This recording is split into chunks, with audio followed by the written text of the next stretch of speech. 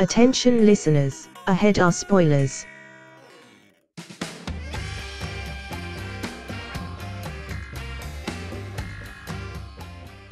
Hello and welcome. This is the movie trap. Thanks, I did want to try that. Hello and welcome to the movie trap. Uh, my name is Russell Carlsen, and with me, as always, is my good pal Chris Boruff. Has anyone seen my cat? and also with me, my other good pal, Zach Powers. I was gonna say, "Where's my cat?" So here we are. You guys are peas in a pod. Uh, welcome to the Movie Trap. On the Movie Trap, uh, each of the hosts that you just met picks a theme, and then each one of us picks a movie based on that theme. Uh, once we've watched all three movies, we then vote with an allocated amount of points, plus some bonus points that we're going to earn along the way, to vote uh, which movie we like the best, or for whatever reason, or hated worse, uh, or, you know, hated less than the others. Um, so, whoever wins that vote, that host then gets to pick the next theme. So, previously on the movie trap, we are in the middle of Zach Powers' uh, city theme. What that means is that we are picking movies based off of our respective current and or previous cities. Uh, Zach chose Chicago, and he chose Steve McQueen's Widows. Uh, today we are joined by we are joined we, we have Chris's choice of cities for Los Angeles, and he has chosen 1973, The Long Goodbye. Uh, there were no bonus points given out last episode, so we're all even. Uh, we each get three bonus points that we can give out for whatever reason. Uh, but uh, if you watch the last episode, you'll know that uh, we're pretty stingy about it. So uh, everybody still got 10 points for final voting and three bonus points to give out. So. With that in mind, Zach, shall we get into the the the the the gritty, grimy, uh, convoluted Roughly 1973 Los Angeles. That's right. That's right. Right. Right. Uh, sure. If uh, if you insist, we can begin the summary of the Long Goodbye. Uh, okay. Uh, the Long Goodbye is a 1973 uh, noir film. Um, it's directed by Robert Altman. Um, it's based on uh, the Raymond Chandler novel. Um, you know, so this is a Philip Marlowe story.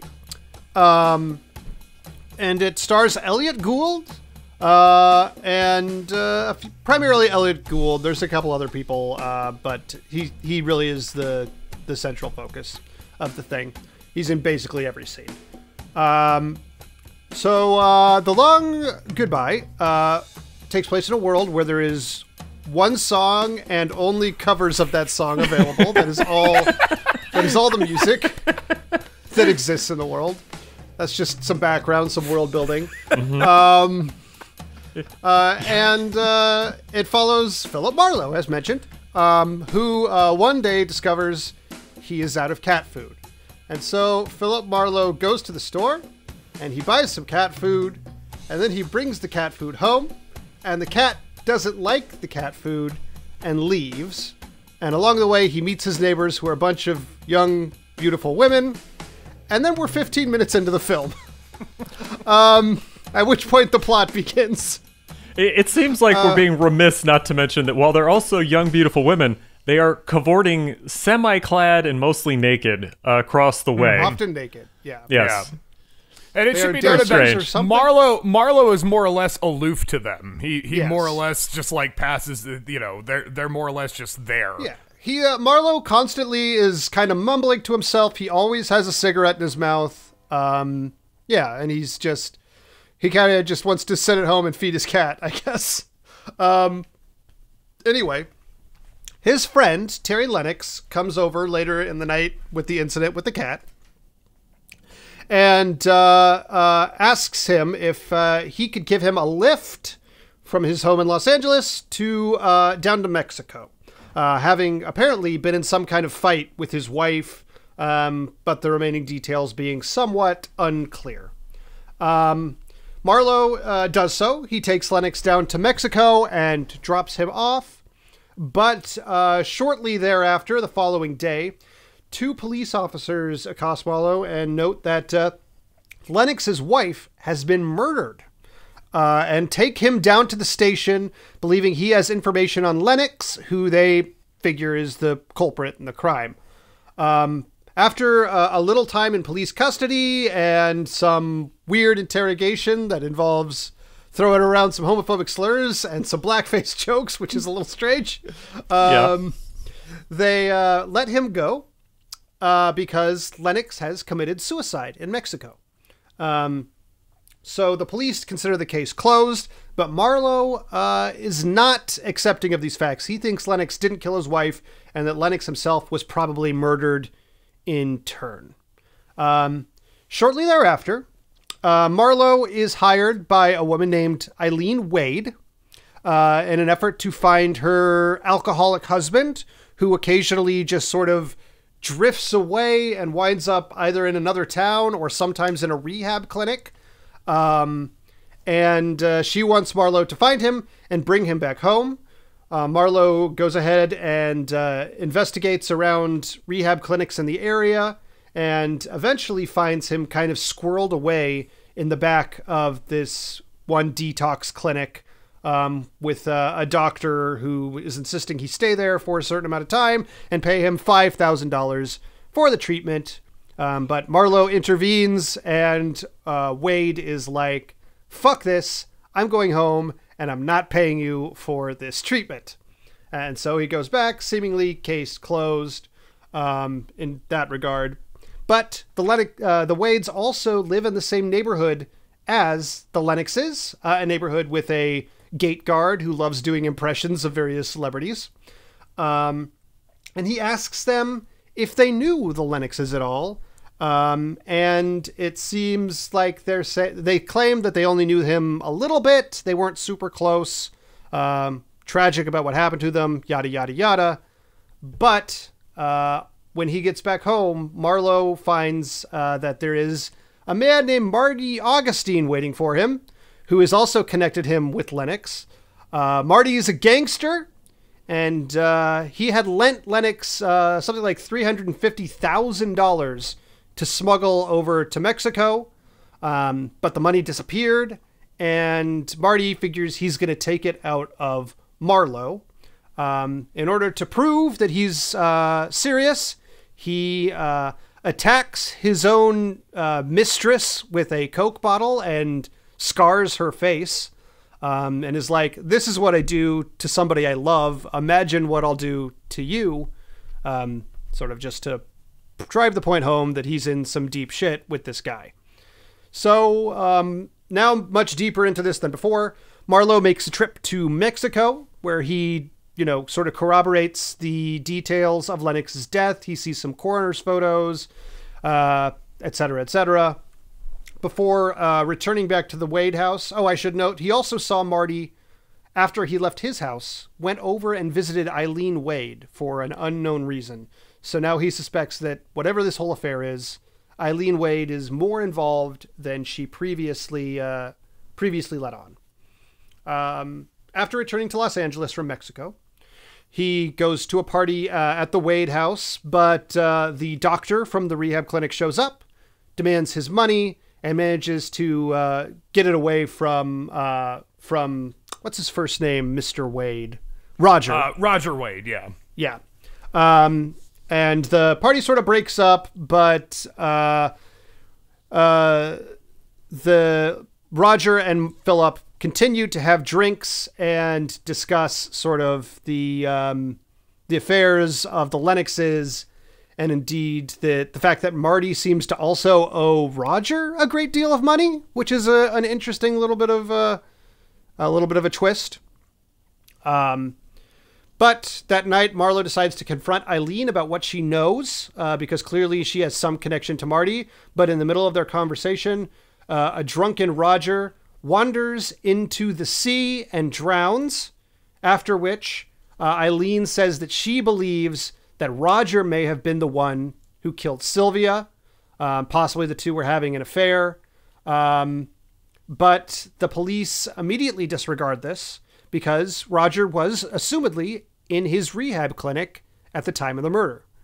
Uh, so it seems like he has a pretty good alibi for for that particular um, night. Uh, he uh, he is then he then goes to visit Marty Augustine to get more information, but uh, Augustine is still quite miffed with him and wants his money back. Uh, he begins to force Marlowe uh, to strip down, along with himself and all of his lackeys, which includes a young Arnold Schwarzenegger. Um, Has And no lines. No lines, Inspired yes. choice. And, One of his and- first- and a noticeable uh, creep stash. He's got like a little blonde yeah, creep he- stash. Right. Yeah. Yeah. so this Yeah. is this is a good eleven years prior to the first Terminator. Um, Yeah. So we're around pumping iron age for for Mm-hmm. Arnold. Yeah, yes. Uh, but after Hercules in New York, this is post Hercules in New York.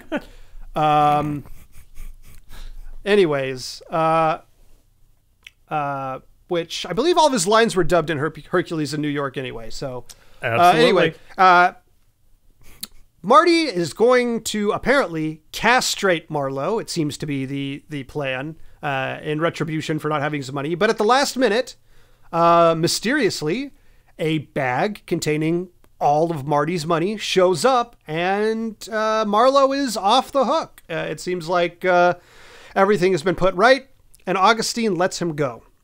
But as he is leaving, he sees Eileen driving away from Marty's apartment. Clearly, she was probably the one who dropped off the money. So he begins to chase after her, but uh, is hit by a car and ends up in the hospital, uh, where he is given a harmonica by a man in a full body cast. Uh, and then he uh, he goes back and uh, visits the Wade house to get some information from Eileen, but it seems they have left the house. Everybody's gone. It's being packed up. It seems like it's been sold. Um, and he returns to Mexico. He reconnects with the two police officers he discussed, uh, he talked to earlier, um, having mysteriously been gifted a uh, five thousand dollar bill that seemingly came from Mister Lennox in a suicide note.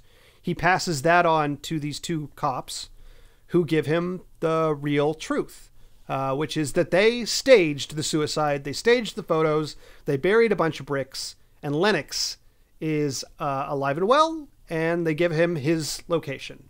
Um, so Marlowe tracks him down to this little villa in Mexico, and uh, it's revealed that he, in fact, was the one having an affair with Eileen, and the two of them were in love. Um, so they had to get sort of the spouses out of the picture. So uh, he has this idea: I'll steal this money from Marty, take Eileen. We could start a new life together. He had an argument with his wife uh, the night he was supposed to leave and bashed her face in, face in and killed her. Um, and then left Marlowe to kind of play the fall guy when he ran away to Mexico to sort of distract Marty and, and the others and such. Um, Marlowe, uh, not super thrilled to learn that his friend used him and killed his wife, uh, shoots him and kills him. Uh, and as he is walking away, he passes Eileen, who is on her way to the villa, and begins to play his harmonica as he leaves. And that is the story of the long goodbye. It was not okay with him. yeah, I uh, I enjoyed this one. Um, it's funny, like since we had to pick out movies that were for uh, our cities. Uh, I already talked to the guys about this, but it's the common one that everybody suggests all the time is Chinatown. And I've seen Chinatown a lot, but it's also a very troubled film because of the director.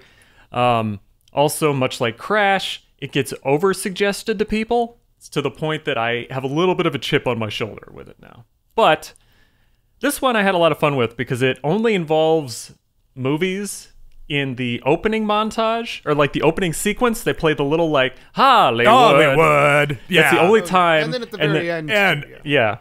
And outside of that, yeah, outside of that, it's the guy with the bad um, impressions, and nothing else has to do with making movies or being in movie making, which is a lot truer to my experience in LA than all the things you think are going to happen when you come to LA.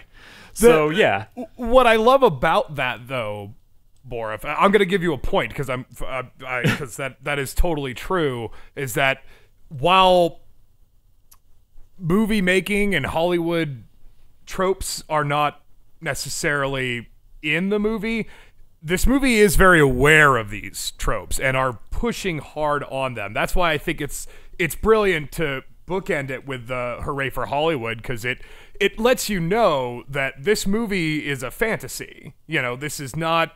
You know, I, I, I think Altman even said about that is that like it's not that that's we're not talking about Hollywood. We're talking about the fantasy. You, the audience, you're you're Hollywood. You're the it's living in your head. That's what Marlowe Mm-hmm. is to you.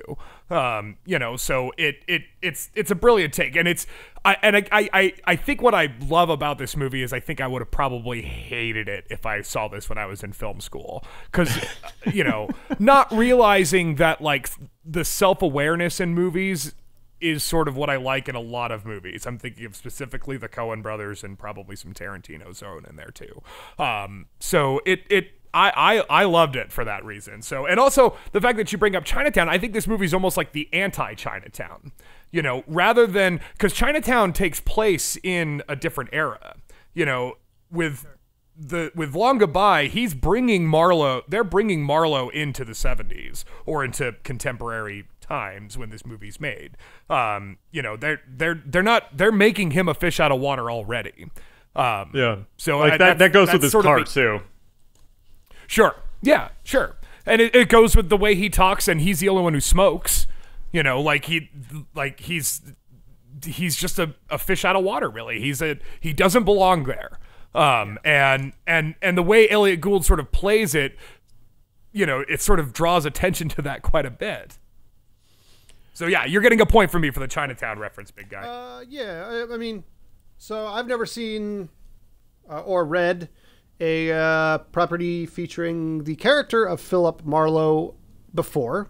Um, and assuming uh, this is a somewhat consistent characterization between different the books and other films, he is an interesting uh, sort of uh, dichotomy between other detectives of the era, like Sam Spade, who we were talking about just before we recorded, in that uh, like Sam Spade is that very hard boiled like a dame walked in and you know blah blah, and Philip Marlowe seems more like the kind of guy who gets he's very very chill.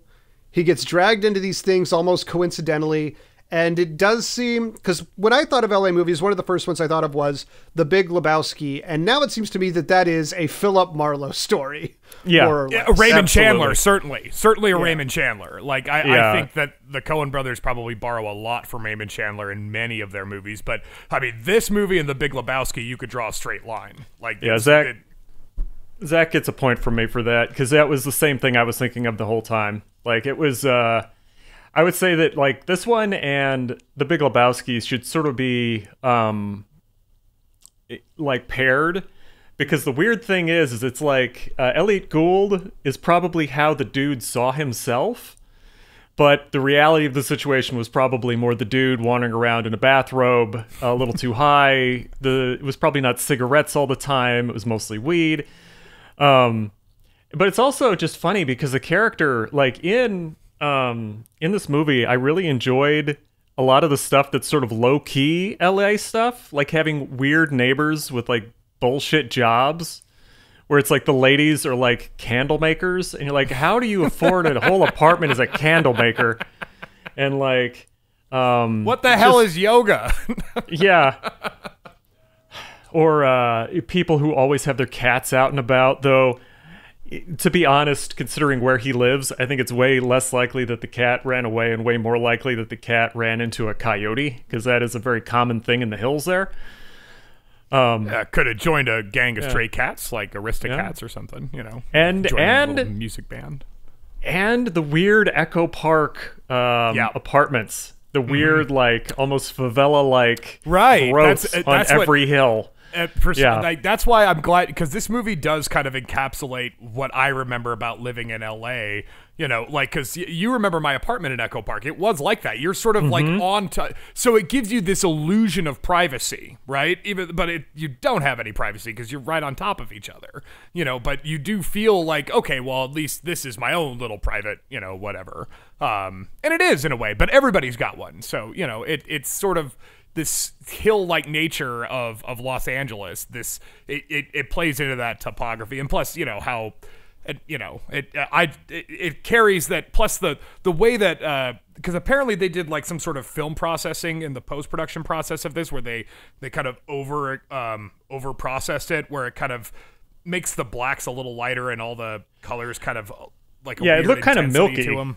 Yeah, right. There's that, that was on. They wanted to do that on purpose, but I don't know why. But for some reason, I that's how I remember Los Angeles. Is I feel like there's that tone around you all the time. Yeah. Oh, it's the it's the constant like um you know you wind up with like just sand in the air because we live in a desert, and then Right. add to that like uh, occasionally you'll get uh, fog from the ocean. Um, Yep. Or smog. People will say smog, but you really don't have as much Not smog really. in LA as you I used mean, to. that the, people who say that only reference their pictures from like the '90s and shit. Yeah, yeah. Like it's it's not as bad as anyway, but but also but uh, it, it's also just like the whole vibe of everybody, right? You know, like Yeah. everybody's kind of more or less self-serving. Um, you know, it and and even your neighbors, your you know, it's not like there's this contentious war where I feel like that was New York, you know, where it's just always like, who the fuck is that guy? And this one, you're like, you know, it's okay with me, you know. Um, it it's that whole kind of vibe of of LA too, and I think a lot of that is Chandler. Some of that I think is Chandler because I think Chandler um, was wholeheartedly like a cynic. Um, you know, because keep in mind he only became a writer later in life after he lost his oil executive job because of the depression. Um, Wow. So like he he he saw the world a little differently, saw Hollywood very differently, and and like kind of this this notion of this because part of when I remember when I first moved to Los Angeles, the first month I lived there, I felt like I was still on vacation just because everything's nice and warm, and you know you just sort of just kind of get with that whole vibe of it, and and Chandler and Marlowe is sort of like that. They're the the actual world. I don't know. It's weird. Yeah, I like. Um, I also like the villain as sort of a good example of I think what you were just talking about because he's an awful person, but um, You're talking about Lennox. yeah, yeah. Well, no, the uh, Those are the the gangsters. the the gangsters who I'm talking about. Sorry. Oh, Marty Augustine. yeah, good. I'm glad yeah. you brought him up because I'm a because he's like so sort of easygoing in his presentation, but then he's so psychotic and violent. Um, Mm-hmm. I would say that is also something that like plays into a lot of how people sometimes act in LA, at least in like the film industry, where you'll wind Mm-hmm. up with people that are nice. But it's all sort of a surface interaction. You don't get much deeper than that. And if you do get deeper than that, sometimes it's very awkward and uncomfortable but uh I've just kind of noticed that thing where there's like that presentation where everybody has sort of a chill vibe regardless of what's going on, but it's also like you said kind of self-serving. So it's it's an odd sort of like um, dichotomy and and yeah, Marty like, Augustine's it- a good yeah Marty Augustine's a great case point for that too because like Mark Rydell the character who played him like read the character and said like this character is kind of boring um and sort of changed him up to be more of like this kind of Jewish sort of like hard ass but like still like views himself as a family man and I'm going to temple. Can you believe you're making me miss out on temple tonight Marlowe you piece of shit? Um let me smash a coke bottle on my girlfriend's face you know like just to prove that like so like that's that's the the interesting part about that that apparently that was all Mark Rydell the the actor who played him to kind of add that color to him and it, it made for a terrifying character. I mean it really did because it gave you the idea that yeah this guy really thinks he's doing like he's okay but that's what makes him more dangerous because he's capable of anything he's he's absolutely capable of anything um so I think that that's that that that was well done by Mark Rydell who's mainly a director like he directed like on Golden Pond and the Cowboys and shit uh, Oh, I didn't know that. I didn't know that he wasn't just an actor. Yeah, it uh it works for the character because he can move in sort of any crowd he wants to, but you know that he's intensely dangerous. Um, yeah yeah. Yeah. And that's uh, why it's, talking it's interesting that you guys have never that uh, we talked about on air to compare Elliot Gould's Marlowe to like kind of the bogey stereotype of what we think of Marlowe. Because like I mean, Altman even is quoted saying, "I don't give a shit if Raymond Chandler fans hate this movie. He did not care um, because." It, he made Marlowe more of a kind of a loser, more or less. I mean, like if you guys ever see The Big Sleep, like it's and it's written, but Leigh Brackett, who wrote the screenplay for this movie, wrote The Big Sleep as well. So like she knows Chandler really, really well. Um, and she's it was it was her and Altman who kind of pitched this idea of updating Chandler to bring it to the 70s and kind of Altman wanted to make him like a loser, kind of like very much like he's he's on the the bad end of the stick all the time. Um, and that's why I think having Bogey do that, that's kind of the same thing, and, and it's typical of Chandler, and it's kind of the same thing in The Big Sleep. But like for example, in The Big Sleep, just about every female character that Marlowe comes in contact with just throws themselves at him. Um, like absolutely no. But but in this one, it doesn't seem like he's more or less like disinterested. He he he can give a shit. Like he he really is just like, hey, it's okay with me, you know. Like it's whereas like you know in in Bogey's era, which again we're talking twenty years before this movie was made in 1940s or whatever, um, and like he's he's more like well dame you know like it's it's a lot more acceptable but i don't know you you also i mean I, I was respectful that, that Leigh Brackett got another go at Chandler because with the big sleep they had to change a lot from the original text just to get by the Hays Code um, of anything that was, you know, because you couldn't even talk about pornography or anybody even close to being nude, which is a big part of uh, the big sleep. But with the long goodbye, they took a lot of liberties with it too. I mean, and and I think you know, a lot of that's Gould and his sort of mannerisms, and a lot of it is Altman as well. But I think the biggest change that they make is Sterling Hayden, um, and the way his character is, because you know, in in the books, like I think the wife shoots him, but in in he commits suicide. And Sterling Hayden, I, I want to I wanted to get Borf to to kind of unload on Hayden because I know you're a big fan of Sterling Hayden. but I mean, he was you could tell he was having a great time doing this movie. He he he had a great time. I uh I I loved it. It was very funny watching it because I kept thinking about other like just that trope, the entire concept of like the drunken uh Ernest Hemingway style writer.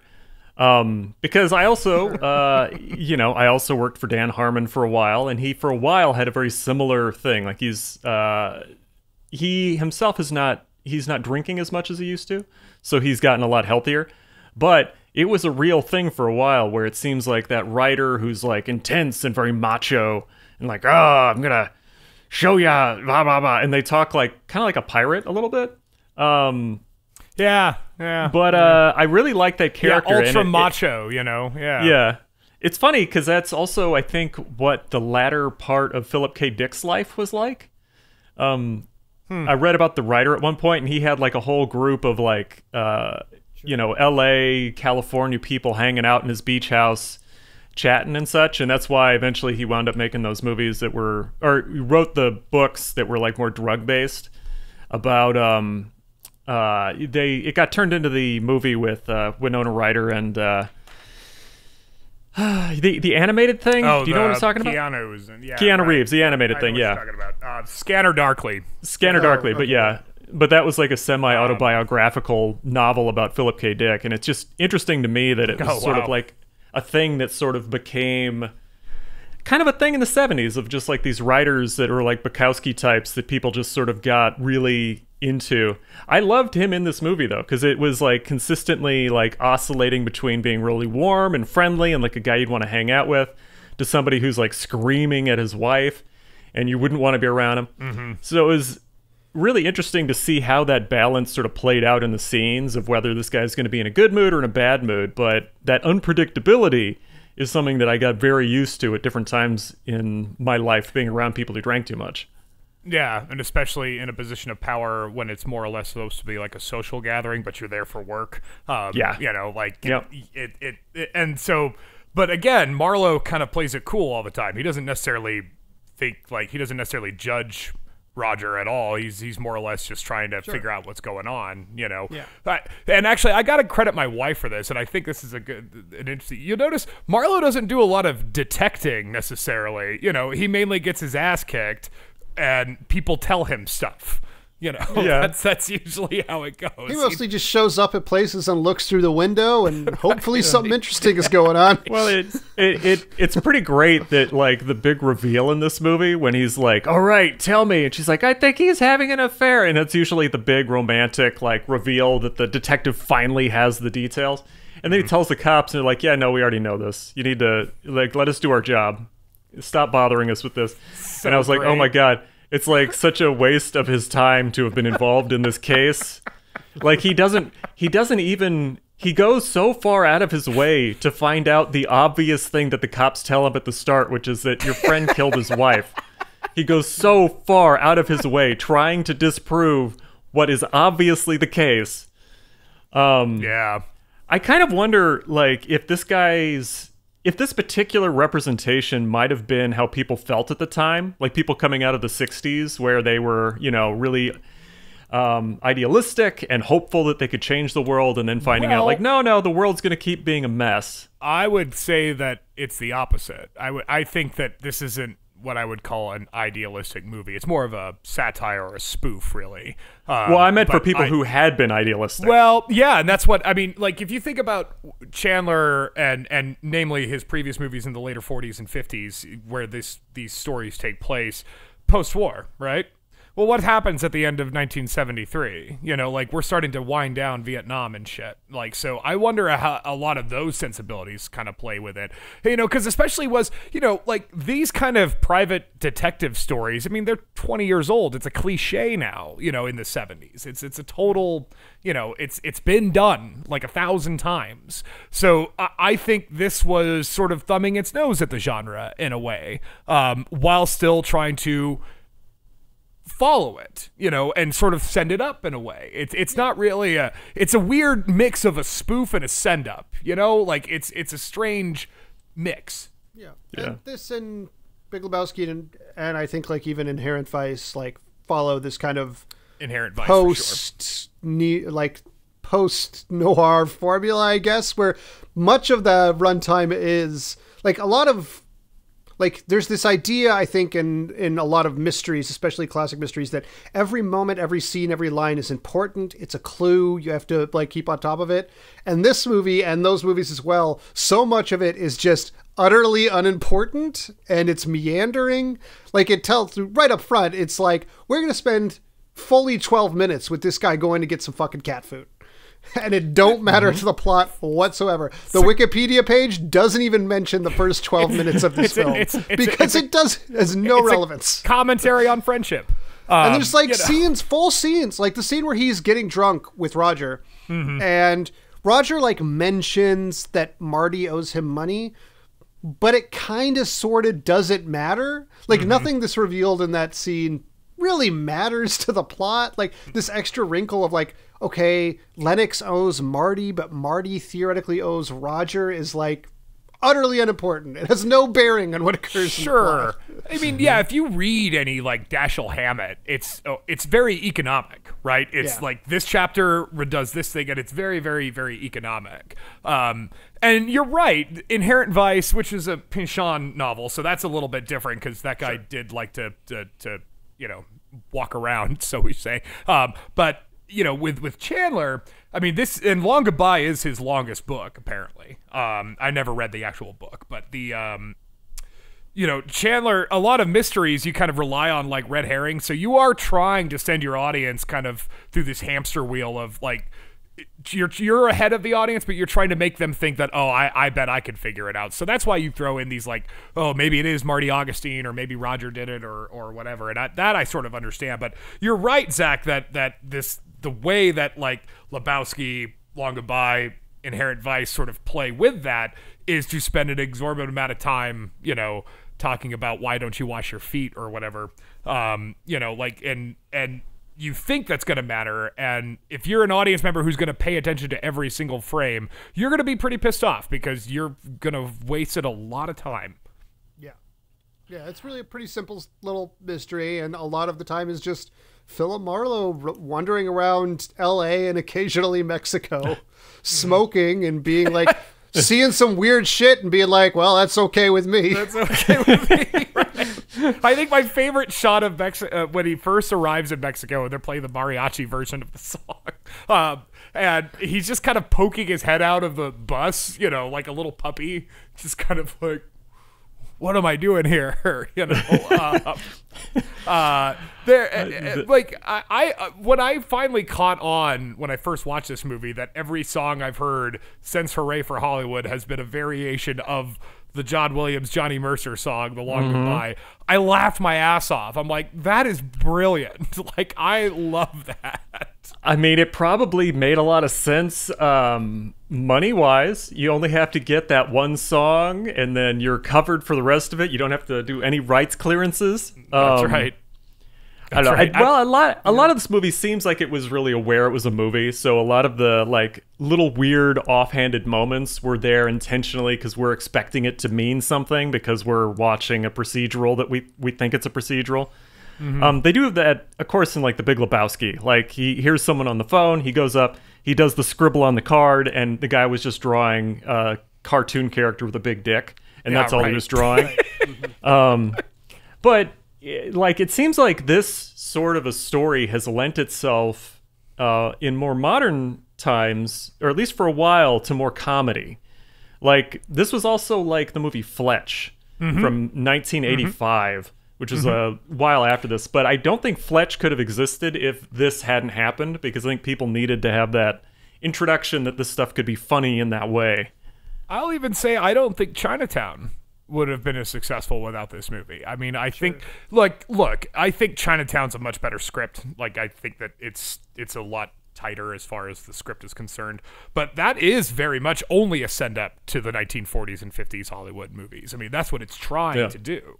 Uh, this movie's doing that, but also like it knows it's doing that and it's letting you know it's doing that. It's not trying it it removes the veneer completely. Um, and in a way I sort of found that a more rewarding journey just because I, I appreciated the sort of candor that uh, and and so I, I immediately attached myself to Marlowe, you know, where you're okay, I'm I'm with Marlowe now. It's one of those movies that like yeah, the weird thing with the cat at the beginning, but just go with it, and and it it it does kind of it sets up the tone and the character very well. You know, like that little exchange he has with the the grocery store clerk. The you know because I think the the important thing is that the cat wants this very specific cat brand. He mm-hmm. doesn't, will not eat any other food, and he goes to the mm-hmm. grocery store clerk, and the grocery store clerk is like, "Hey, I need curry brand cat food. Where, where is this?" And the grocery store clerk, "I don't know, man. All this shit's the fucking same." And he's like, "Well, I don't, you ever had a cat?" No, I, why would I need a cat for? I got a girl. Uh, look at him. He's got a girl. I got a cat. It's okay with me. You know, like it, it just that that sort of like I that amount I don't know why, but I was like, that is the coolest character I've ever seen in my life. Just the way Marlowe is with it. He's like, all right, fine, fuck it. And then to change, he, oh, okay, cat. Oh, the cat's hungry because he wrote curry brand cat. He just changed the labels, thinking that the cat wouldn't notice. Yeah, there's some weird stuff in it. Yeah. He also tries to feed the cat like um cottage cheese and an egg at one. And it's like, "Oh, no, cat isn't going to like that." yeah, right. Doesn't he try to threaten to say like, you know, they're killing tigers in Indonesia or something? You know, like it's yeah, so weird. know. How um, but it's you know how did you guys feel about the ending? Cuz that's one spot that hit me as funny cuz like we're watching the whole movie and there's moments of violence where it's like, you know, you have uh, the Coke bottle, of course, which is a super disturbing sequence. And then you have the ending where, you know, Marlowe shoots his former friend. Um, but those are, I think, the only two on screen examples of like violence, like real intense violence. How did that play for you guys? Because I was almost disturbed at the end when he shot him more than like it didn't feel like a revenge at that point. It just felt like disturbing. Like it felt like yeah, you're Marlowe like, had committed an actual crime. Yeah. This character in particular, it's uh, you know because he's such like we've been talking like how mellow and laid back this character is constantly. The fact that he's the only character that we actually see on screen commit a genuine like murder of any kind or, or yeah, it's it's Yeah. it's interesting. Like It's- something, yeah. Yeah, it's abrupt too. Both both acts of violence are like it, I I found both acts pretty shocking. Like, yeah, you, you're right. You don't get this sort of like ah, got him, Marlowe. You know, like you you get the sense like Jesus. Um, you know, like th- that pretty harsh, Marlowe. Um, and then with the Coke bottle, it just happens so suddenly that you're like, oh my god. And Yeah. I, I sort of respect that. And again, not that we keep bringing up the Coen brothers, but the Coen brothers do that shit all the time. Like they they will have no violence and then these very stark, like almost like explosion of violence and very like jarring. And you, the audience member, aren't so much like you're, you're horrified by it almost. Um, yeah, I I loved it. I thought it was It's badass. different from. I mean, there's other genres that do something similar but diff but in a different way. Like I feel like a lot of uh, westerns and in particular spaghetti westerns have this thing where like there'll be big build up to violence and then the violence will happen very quickly, very abruptly and, and be over. Um, but I also think that the build up is and Tarantino does that a lot too. Sure. Um, but uh, I think that it's different there because in those it telegraphs that violence is coming for a long time. Like there is this, the buildup is very tense. Uh, it's very slow. You know, sooner or later, like the bullets are going to start flying. In this, in both instances, like the violence comes very much out of the blue in a way that it doesn't in those those those uh, spaghetti westerns or Tarantino movies. It's like a very relaxed hangout. We're all, hey, can I just have a coke? You know, oh, Yeah. uh, you know, Terry, I figured out what happened, and then all of a sudden he turns around to get him a drink and shoots It's- him. Well, I Well, it's mean- weird because it almost plays like uh, like have you ever been around dogs right before they get into a fight where they get quiet? Like in a lot hmm. of films, you have that quiet moment where it's like, ooh, it's getting tense. Everyone's very quiet all of a sudden. Something's going to happen. In this one, it kind of starts getting quiet, but the guy, his presentation is so easy and is so loving and he's so quiet that when it finally pops and he like hits the lady with the bottle, it's super disturbing because it literally didn't give you, like you said, there was no telegraphed moment but it also has that sense of like leaving you a little shook for the rest of the movie because you're like, ooh, they might do that to me again without warning. Um, which uh, I wouldn't say that I didn't see the gun at the end coming because I had a feeling that yeah, he was going to shoot climax somebody. We're almost done with this Yeah. movie. You know, Yeah. like something, something's I was surprised happen. it wasn't on the beach because all the all the pictures I've seen is Marlowe with a gun on the beach, and I Yeah. expected someone on a beach to get shot, and that That's a doesn't lot happen. of the a, a lot of what failed this movie because this movie did not do particularly well when it was released. Um, it it, it like Siskel and Ebert apparently loved it. Pauline Kael loved it. Um, but a lot of the critics hated it. A lot of those critics have kind of done a mea culpa about it now because it's endured for so long.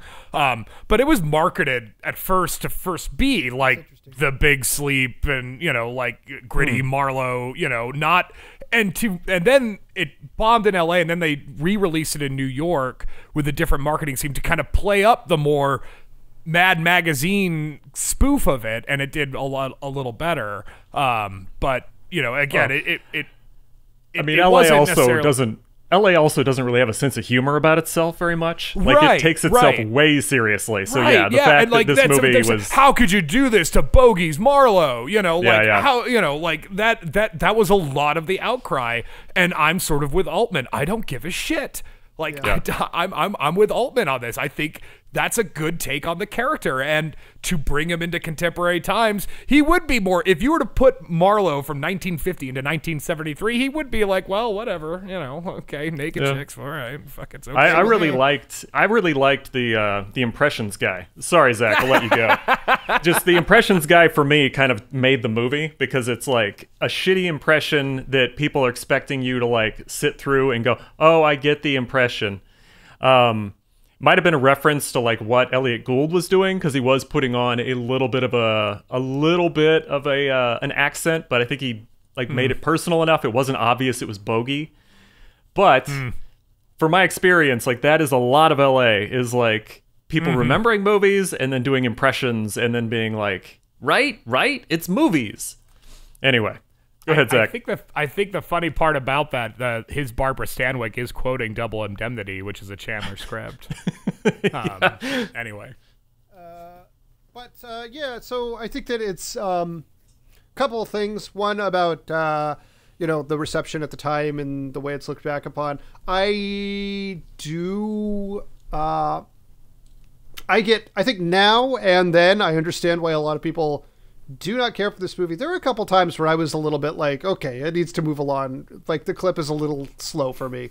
Um, and like even for a movie made in 1973, like this is very meandering.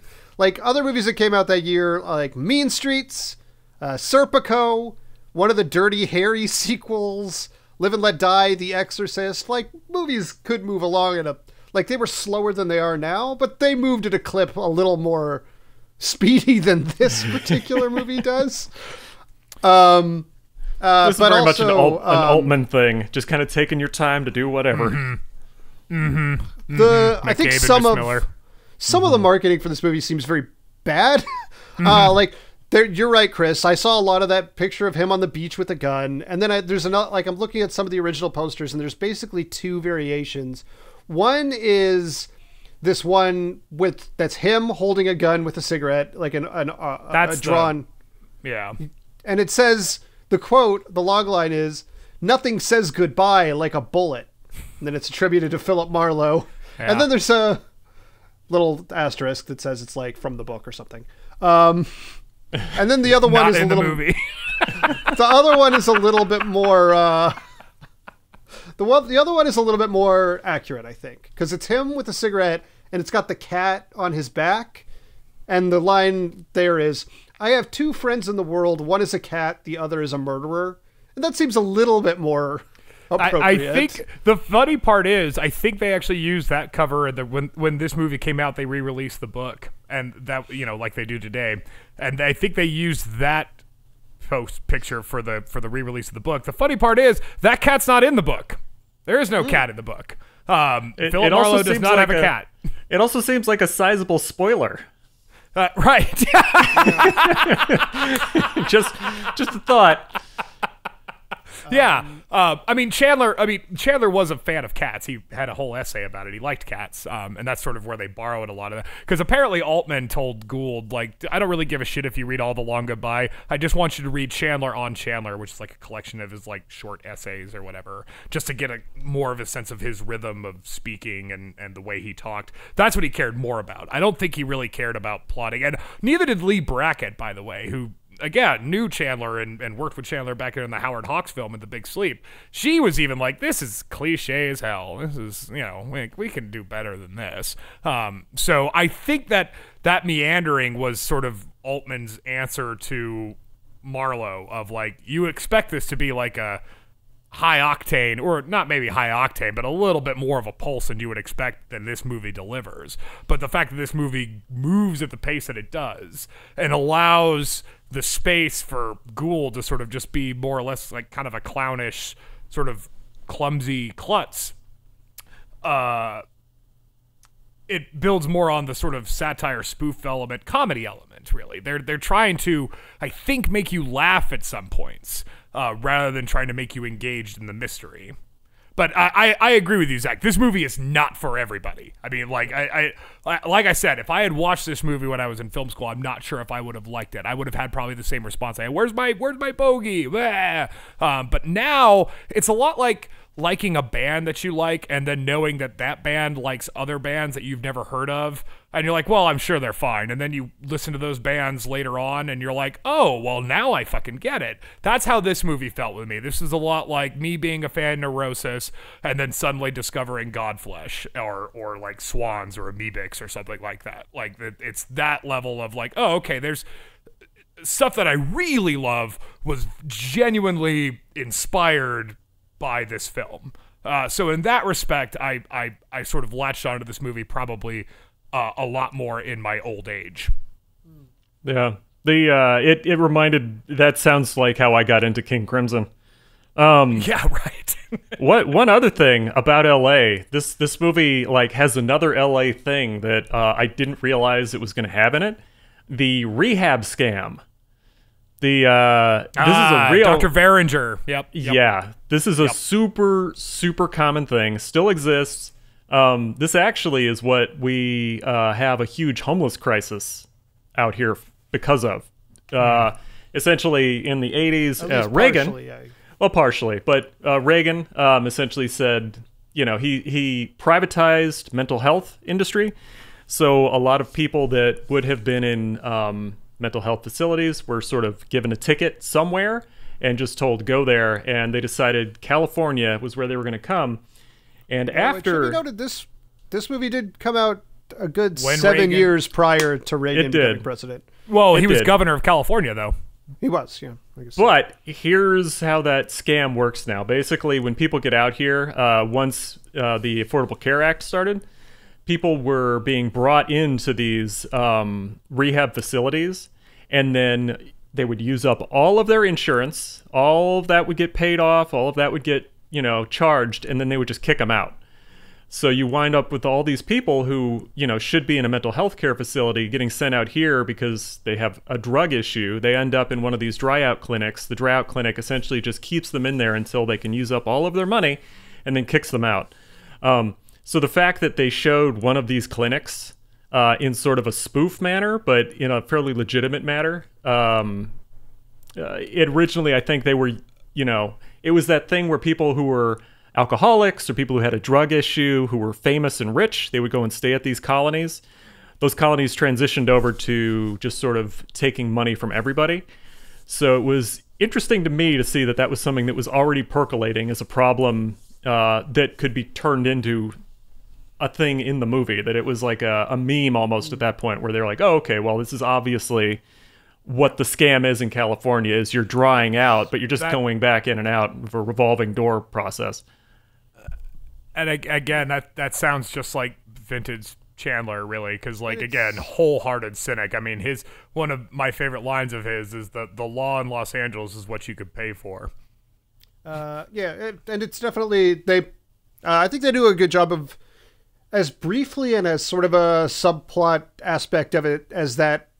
Another thing that, like, in the big picture of this plot, that whole thing with the rehab clinic is not greatly important. Like, in terms of the Lennox mystery, it doesn't really matter. But uh, it is. I do think it's you know it's an interesting and well portrayed subplot. Like the way this guy keeps coming for for his money, even though he only did like part of this course. He's like, you still owe me the entire amount. And when Marlowe tried to go in the front door, how the receptionist is like, that guy's not here. like, just turns him away, straight up lying about his whereabouts. Yeah. Uh, yeah, and it's weird too because Dr. Verringer, um, played by Henry Gibson, was m- Yeah. mainly known as a comedic actor at that time. Yeah, I mean, we uh, listener, for a litany of you- things, but You might know this guy from The Burbs. Uh, Yep. Yeah. He plays like the main sort of neighbor guy, Klopek, I think his name is in that movie. he plays the head Nazi in the Blues Brothers. Yeah. Yep. Um, Yep. Yeah. Um, so yeah, no, and that's I, I think that was an interesting subplot, and again, that's it, it- you throw in these kind of red herrings basically to to make the audience think that it plays into the bigger picture and that it doesn't, and it's really just Chandler just wanting to take a piss out of uh, doctors and shit and greed and what have you. Um, so yeah, I think that that's and also that's why I think that you know you know, I I don't think. Do you think that that the the rehab bit was played for comedy, Boruff? Um, I think that it was played um more for uh being a red herring because when you see it, you I start agree. thinking that that's going on. Because the guy, the fact is, is the character is still sort of a comedic actor, and it's sort of a comedic performance. Sure. But I think Marlowe himself is sort of like a, like I said, kind of like a Dick Van Dyke klutz, you know. Yeah, so it does. It actually does have a very strange thing. I'm not quite sure how I'm supposed to take that sequence either, because the character is sort of threatening. That character also commits the only other act of violence on screen. He slaps um, Roger at one point, like "Give me the money, Roger," and slaps him. Um, which is kind of a funny. That had to be be 'cause- rewarding for Henry Gibson. That had to be pretty rewarding. Because Yeah. apparently Hayden, apparently according to Altman, Sterling Hayden was just like stoned on weed and drunk the whole time, and it showed. It showed. Yeah, I mean, I assumed that was just a character, but I suppose that makes sense. I, I I like Sterling Hayden; he was great in this. Um, I- I can yeah, see why he was Yeah. a big star. Uh, yeah. Uh, who also? That's it's the same guy who played Jack D. Ripper in. Yep. in- yep. yeah. And Doctor Strangelove and the big boss in Nine to Five. Um, Right. Uh, Right? so our third, our third interaction. Our third Sterling. Sterling Hayden. Uh, but uh, yeah, I think that he's an interesting character. So, like, one thing about this movie is most of the characters, in one way or another, are lying to Marlowe. Um, uh, I think uh, you know, like Eileen is, Lennox is, etc.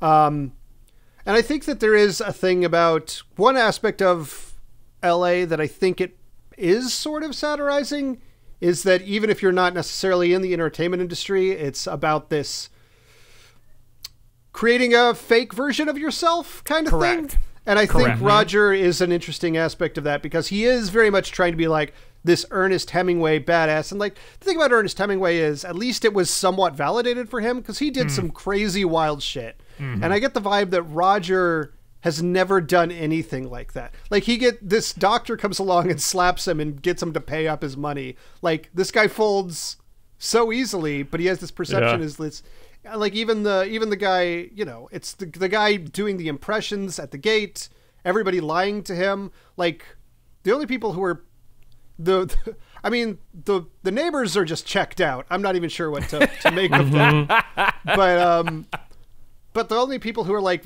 particularly kind of just being themselves are Marlowe, who just kind of wanders around, like, and arguably Marty Augustine, who is Sure. a full blown sociopath, pretty Sure. much. I, I would say the cat too. The cat is honest. It doesn't like the food That's and true. it Doesn't- leaves. wants Yeah. curry brand cat food. What do you want? Um, and and So I think, I do think there's like it's saying something about the performative aspect of living in LA, even if you're not in the ent- entertainment industry. one thousand. You know what, Zach? You're getting a fucking point because I think that, that that is why this is one of those quintessential LA movies. Not just the topography of the way it shows, but the way people are. You know, it's all a facade. One of my, you know, like both. Li- I've lived on both coasts, New York and LA, and they get compared to a lot. One of my favorite comparisons I always make is people cars. Now, both coasts drive very nice cars, very very nice cars. But when you see people get out of nice cars in New York, even in Long Island and New Jersey, they still kind of look okay. In Los Angeles, they'll walk out in their pajamas out of like a Lexus and shit. You know, when they're just like they'll they'll go out and when they're getting their gas, they'll be in their jogging outfit. Like they don't care.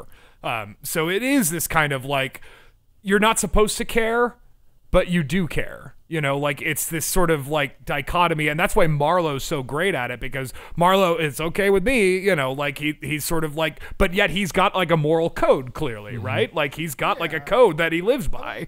there's Marlowe is an interesting.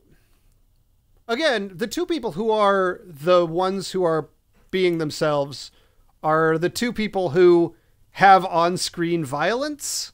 Like there is some aspect of Marlowe that he is clearly hiding because a guy Yeah. as chill as Marlowe would not just pull out a gun and shoot his friend in the back because of this whole like there is something in Marlowe that is like this curled up like bit of anger or resentment or something.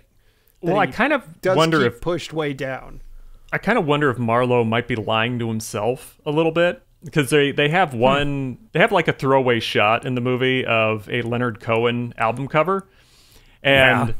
the thing is is that he's dressed like Leonard Cohen for most of the movie, and Leonard Cohen Hmm. like has a presentation about him that I would say is pretty close to what Glenn Gould was doing here.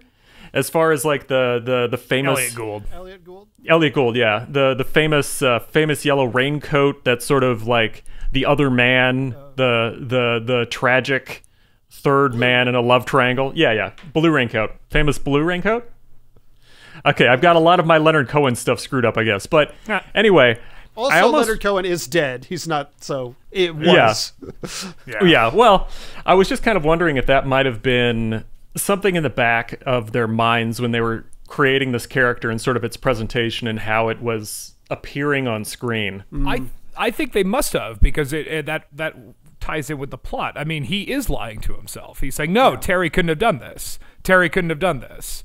So he is lying to himself throughout the whole movie until he can't anymore. Um, so I think that that plays into to the plot quite well. Um, so that's the I. There's a lot to unpack in this movie. That's why I could understand why it's endured for so long. I mean, it, it's it, it, I because how rare is it? I, I guess we can move on to probably final thoughts here. Um, because like I adore this movie, but again, I'm glad I saw it when I older, and I certainly understand why this would turn off a lot of people because when you spend a lot of time like i know like my little brother if you're listening don't watch this you're not gonna like it um like he i am charmed by elliot gould's sort of antics and his interactions with the world around him if you're not charmed by that i can see how this movie would be very very boring um you know, and and again, Big Lebowski is one of my favorite movies. So the fact that this movie and and and Big Lebowski go almost hand in hand, like I think that like you, this is almost like a a Coen brother 101 in in the way that they handle mysteries and stuff. Um, plus, I mean, enough can't be said about Raymond Chandler. I think Raymond Chandler, you know, like one of his one of the best Billy Wilder movies and scripts is Double Indemnity, and that was, and it's not even a Chandler book; it's a one of his contemporaries, uh, James Cain. Um, that script, what airtight, great script in Double Indemnity, um, and to see Chandler be interpreted again by Leigh Brackett, but then through this prism of Altman, where again, we, we brought this up last episode. I'm not a huge Altman fan. Like I and maybe that was because of film school where everybody was just pushing Altman on me all the time and I sort of like kind of resisted it. Um so and his the, the the style of the whole talking over everybody all the time as to make that sort of realism is fine but it also could be very distracting and turn you off. For some reason and I, I almost don't know why this movie plays that note very well because it walks that line of is this if you just take this movie as a straight mystery you're gonna miss the satiric and almost like sense of humor that this movie and the metatextual stuff that this movie is very much throwing at you. If you only take it as a spoof or a satire, you're gonna miss a lot of like the very human commentary and and and critiques on human interactions that this movie is trying to hint at, especially with the notion of of friendship and honesty between friendship. So I think if you try to just take one or the other. You have to take them as both. So that's what makes this movie, I think, uh, unique. And you could really never do a movie like this. Like it just doesn't work most of the time. Doesn't work. Um, you know, like even like Brick, Rainn Wilson's movie, I felt was sort of kind of trying to do something similar, like having a, a Dashiell Hammett, Raymond Chandler sort of story, but in this sort of high school sort of element, you know, where there's still this impending, but there's still like this sort of machismo about the main character. There's still this kind of like brash toughness. There's no sense of that with Elliot Gould's Marlowe. There's no sense of that, like, I'm in danger when Marlowe enters the room. Quite the opposite. You feel almost calm when Marlowe enters. Everything kind of chills out when Marlowe enters this room. Elliot Gould's Marlowe. So bold and uh, unique. So in that respect, uh, I adore this movie. So thanks for picking it, Boruff. Uh, I will go next. Uh, we'll let, uh, as per usual, the person who picked the movie have the last word. Um, uh, yeah, so this uh, was interesting. I'm actually going to retroactively give uh, Russell a point for something he pointed Ooh. out earlier, which was uh, the way that he wrote the brand of the cat food on the can and then gave it to the cat and the cat left. And I actually thinking about that like actually uh, stuck with me a little bit because I think that there is an interesting parallel. To, like we've been talking about the performative aspects to LA and like the false face that you put forward. And I think that the reaction of the cat to this like this lie, this like fake cat food is in many ways like how uh, Marlowe himself reacts to Lennox when he finds out Lennox. Interesting. It's like he wants Lennox mm-hmm. to be telling the truth for the whole movie. And when he finds out that this guy he thought was his friend was like the last real dude in, in LA lied to him, he's like, fuck you, it's done. And I think the cat responds to a similar way at the beginning with the fake cat food. Interesting. Like, you know, you could give me shitty food, but don't fucking lie to me. I think, um, I think the, the, cat also is a good example of how the audience reacted to the movie. yeah, probably so. And I'm that's the other thing. Like I like uh, there are elements of this movie I like. I like I think there are very underplayed things that it's saying about LA, which is not a place that I've lived. I've only visited for, you know, a week here or there. Um, and I think that it has some like interesting stuff that is later iterated upon by people like the Coens or Paul Thomas Anderson. And I will admit that I, I, probably slightly prefer those movies to this one at the end of the day. If I had to rewatch one, it'd be, you know, it'd probably be over in that camp. And I can't pretend I didn't occasionally struggle with the meandering uh, tone of this movie. Like it was hard not to occasionally look at the phone when there were long, slow sequences where oh not. boy, here it comes, on. the long goodbye. Yeah, the six different colors of the long goodbye. Um, so there were things I enjoyed. I don't. I can't. I can't. I, I, I agree with Russell. Like it's not for everybody. Um, and it. I. It's not a hundred. It wasn't a hundred percent for me. It wasn't zero percent for me. Like I enjoyed it. Um, but there were struggles therein. But I appreciate a lot of what it did and a lot of uh, the uh, the DNA that this movie has that has been passed down uh, since then. So, yeah, that's where I'm at with this one. Uh, and I'll pass it over to Chris. Yeah, um, for me, I enjoyed the movie. Um, I had kind of a strange experience with this one because the first time I tried watching it, it was like sometime in 2012, and it was on Netflix, and I think I made it through the cat section, and then something came up, and I left the movie. Like I couldn't finish the movie, and then I couldn't get back to it because I was very guilty at the time of having that like long list of like, oh, I should watch that at some point on my Netflix, but never actually did it.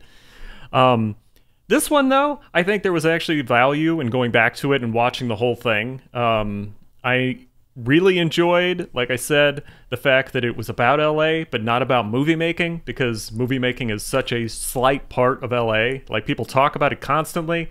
It's the reason tourists come out here, but when you're actually out here living, there's, you know, a couple million people that don't have anything to do with the film industry that are the majority of the city. So only hearing about the film industry tends to be hearing about Hollywood as it likes to put itself out there, as opposed Indeed. to hearing about Hollywood in terms of like the homelessness crisis and everything else happening out here.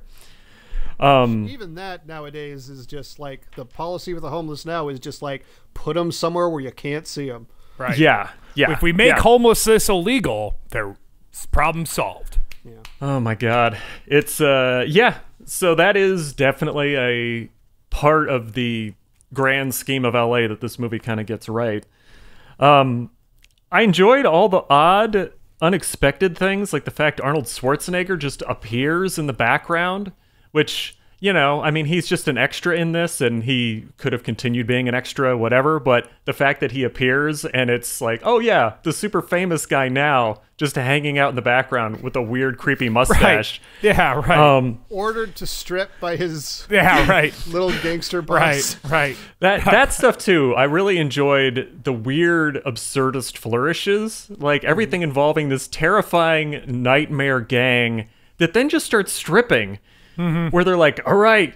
Take all your clothes off, and he's like, "I don't want to take all my clothes off." He's like, "All right, no, well, I'll do it." And it's like, how how is that the go-to for a crime syndicate? Is that we will all get naked to make the guy that we're going to torture and potentially castrate feel more emotionally centered in having to be naked in a group, which also I like that Marlowe very- barely gets his jacket off, but the rest of the Yeah. crew is already down to their skivvies. You know, well, like that's that's also a very LA thing. Like, Yeah, right. people are really worried about, oh, how does it how does it impact you emotionally? It's like, well, there's a difference between emotional impact and being castrated. I think castrated's far more intense than feeling slightly uncomfortable about right. being in my You're gonna be skivvies. embarrassed. I'm gonna be in pain, so I'm gonna take Yeah. my time. Yeah.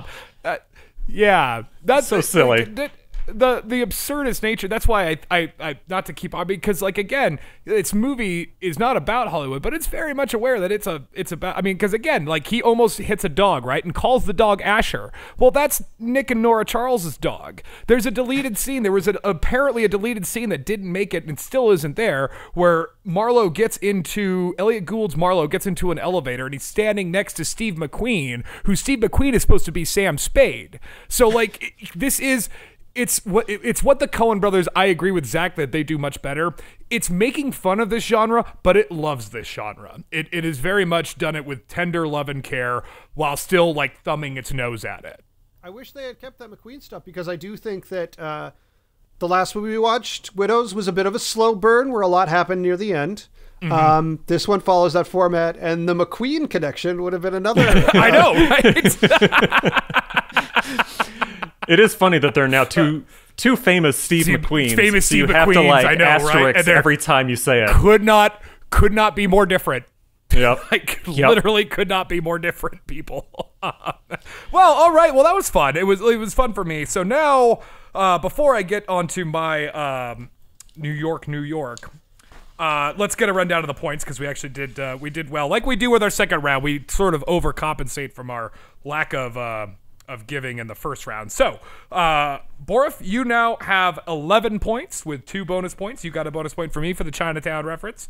Uh, I have 11 points. I got a point for Zach about the cat food uh, with one more fi- uh, bonus point to give out. And Zach, you now have 12 points because you got a bonus point from Chris about Big Lebowski, and you got a bonus point from me, uh, and I forgot why. But anyway, that is where we stand. So 12, 11, 11 with uh, bonus points to come out. So now the suspense is over. Round three comes to me. And I'm not going to lie, guys, I had a hard time. I've been racking my brain trying to pick because not only is it New York City and arguably the most filmed city in the United States. Um, It's either that or L.A. yeah, right. Um, so I there's a lot of ways I could go with this. First of all, it should be said I haven't lived in New York in over ten years. Um, so I didn't want to do something that made me feel too much like a fraud or a phony. Um, so I wanted to try to pick something that was like a personal connection to me. Um, you know, so I, I thought a lot about when I was around. So I thought about like the Black Swan had just come out, and that takes place in New York, and that kind of mirrors the kind of like getting into the entertainment industry kind of thing. Um, and then I thought about, well, I- you know, then I thought about, well, why don't I do a classic, you know, New York. So I thought about, well, what what do I know about New York in the 70s? So I can't really do anything gritty like Serpico or Taxi Driver or anything like that. Uh, but I could do something that I have like a personal relationship to, like The Odd Couple or The Apartment. Um, but then you guys chose movies that you hadn't seen before. So I thought I would go in that spirit. Um, so it's a movie I had not seen before, and it takes place in Harlem. I'm going to choose If Beale Street Could Talk. I believe it came out in 18 or 17. I have yet to see it. Um, it's a James Baldwin uh, novel, I believe. So I have been very curious to saw it. I know Regina King won the Oscar for it, and uh, yeah, I've been meaning to see it. So since you guys picked movies you haven't seen before, I thought I would uh, respond in kind. Uh, so if Beale Street could talk, Uh, I have seen this movie, so Okay. um, yeah, I haven't seen it to yet. revisit. I'd be interested to watch it. I love James Baldwin. Mm-hmm. I've always found him to be a very interesting character. yeah. Um, and I think the director, I, I can't remember the director's name offhand, but I, Barry Jenkins. Barry Barry Jenkins, right? Yeah, yeah. Um, Moonlight. Um, So yeah, I, I think that that's you know a lot of quality in there. So I mean, you know, can't say that hasn't steered me wrong before, but let's give it a go. All right. All right. Okay. Uh, well, uh, that was fun, everybody, and uh, do tune in next time uh, for our final round where we will do final voting and pick the next theme that we will uh, succumb ourselves to. So, uh, on that note, uh, it's okay with me. Uh, I've been Russell Carlsen, and I have been joined by Chris Boruff. It's okay with me. And I've also been joined by Zach Powers. You have a Coke? It's a little flat. I like that it's just an unopened Coke in the ice pot. It's an open Coke It's in a, an ice it's, it's a fully open Coke that has one sip like left sip in it. in it. I mean, Uh-huh. how long has that thing been in there? It's so great. The guy lives like a college student. It's great. Alrighty. Well, thanks for joining us in the movie trap. Uh, we'll see you all next time. And remember, Diane Ladd is too young to play Chevy Chase's mom. Movie trap problem. It's true. See you guys. Marlowe, just answer the question. You want to know what I did last night? Mm-hmm. Well, my cat woke me up in the middle of the night. He was really hungry. So I went in to fix him his favorite kind of cat food, curry brand. You know, it's the only kind he eats. And I was out of it. So I fixed something else up, and the cat clawed the hell out of me, just wouldn't touch it. So I, I went out to the uh, Thrifty Mart, you know, it's open 24 hours, to get some curry brand cat food. And they were out of curry brand cat food, son of a bitch. So I got a couple other cans, you know, and I came back and I switched the labels and the cans around, and the son of a bitch cat just left. He Marlowe, will you just wouldn't have forget the part of that food. goddamn cat?